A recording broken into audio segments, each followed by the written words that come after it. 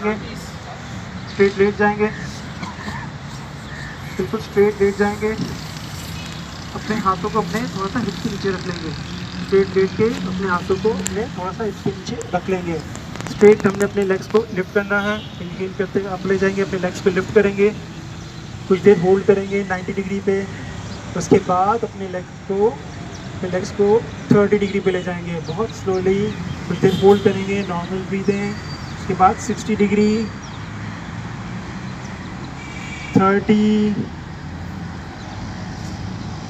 60 lower abdomen के लिए बेहतरीन बैली फैट को रिड्यूस करने के लिए बेहतरीन 30 60 30 डिग्री,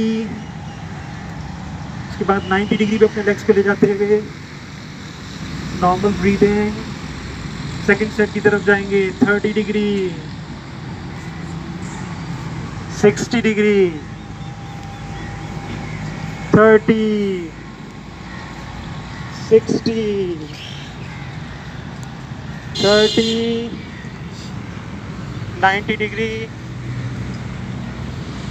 And release करेंगे लेग्स को रिलीज़ करेंगे रिलैक्स करेंगे। लंबे गहरे सांस लेंगे deep breathing belly breathing relax करेंगे अपने आप को।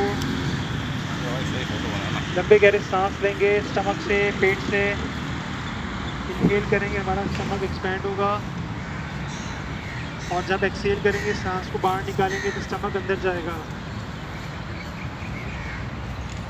उसके बाद अपने नी को राइट नी को चेस्ट की तरफ़ पुल करते हुए अपने हाथों से।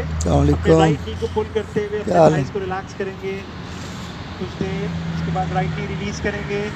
लेफ़्ट नी को चेस्ट की तरफ़ अपने हाथों से पुल करते हुए लेफ़्ट अपने लेफ़्ट घुटने को अपने सीने की तरफ़ पुल करते हुए अपने हाथों से। लेफ़्ट नी को रिलीज़ करेंगे। दोनों नीज को चेस्ट की तरफ़ पुल करते हुए अपने हाथों से फिर थाइस के मसल्स को रिलैक्स करेंगे हिप जॉइंट के मसल्स को रिलैक्स करेंगे। उसके बाद हल्का सा लेफ़्ट एंड राइट अपनी लोअर बैक पे मसाज हल्का सा लेफ़्ट एंड राइट बहुत ज़बरदस्त तरीके से बहुत सिंपल तरीके से लोअर बैक पे मसाज करते हुए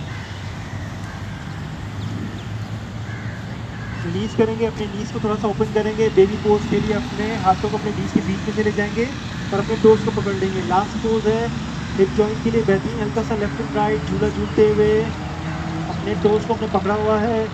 एक बेबी की तरीके से। बेहतरीन हमारे थाइस के लिए हिप जॉइंट के लिए। उसके बाद रिलीज़ करेंगे लेफ़्ट वेट कर लेंगे। कुछ देर के लिए लंबे गहरे सांस लेंगे। डीप ब्रीदिंग बैली ब्रीदिंग सिर्फ़ टू मिनट्स के लिए अपने आप को रिलैक्स करेंगे। लंबे गहरे सांस लेते हुए